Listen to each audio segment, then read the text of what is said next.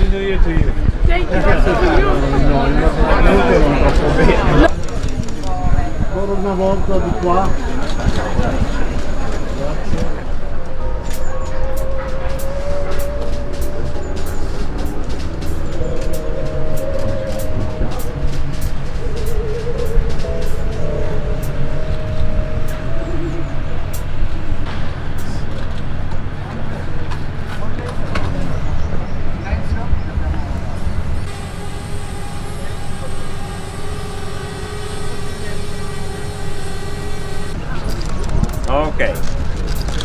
Io non ci vedo più con me, ragazzi.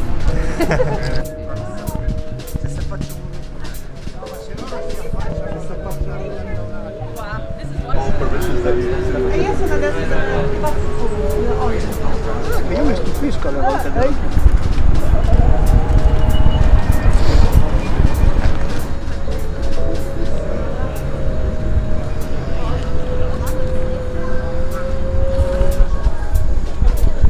Bisogna dire che quando c'è un solo pulmino come questo, la tecnologia 5G non è importante, la guida autonoma è autonoma perché è autonoma, quindi potrebbe fare tutto da sola.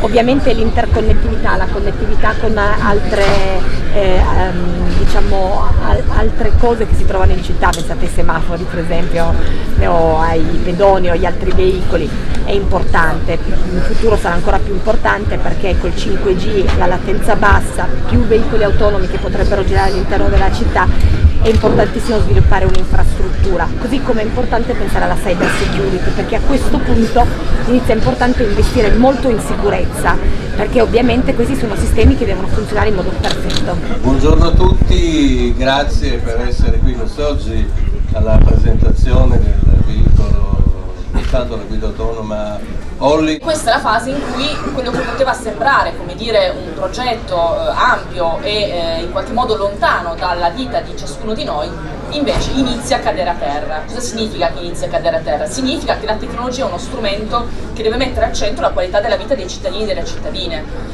E oggi stiamo sperimentando esattamente questo, stiamo sperimentando un test dove noi mettiamo al centro i cittadini e le cittadine e una tecnologia che è strumento per migliorare o comunque accompagnare i cittadini nella propria vita quotidiana. È un test perché ovviamente teniamo insieme, ripeto, un ecosistema, non sarebbe possibile se non avessimo tutte queste aziende qui con noi, questo mix di competenze, è un test che vuole incidere su uno dei grandi temi che noi abbiamo, che è la nuova mobilità, che non è solo una nuova mobilità meno inquinante, quindi ovviamente elettrica e che in qualche modo ci coinvolge dal punto di vista della responsabilità ambientale, ma anche una mobilità diversa, interconnessa, una mobilità dove vediamo tanti strumenti che si mettono insieme per costruire un percorso, per muoversi nelle città, una mobilità come servizio, non più solo concentrata sul concetto di auto privata. E quindi qui in questo test vedete anche la nuova mobilità che noi stiamo cercando di costruire, che dovremo costruire nei prossimi anni. Grazie davvero a tutti coloro che sono qui presenti, grazie a voi che ci avete creduto e grazie a chi ci continuerà ad aiutare in questo percorso che vede, eh, chiudo, con orgoglio Torino di nuovo la prima città in Italia che cavalca fortemente l'innovazione. Grazie. Grazie, grazie Silvia che ha.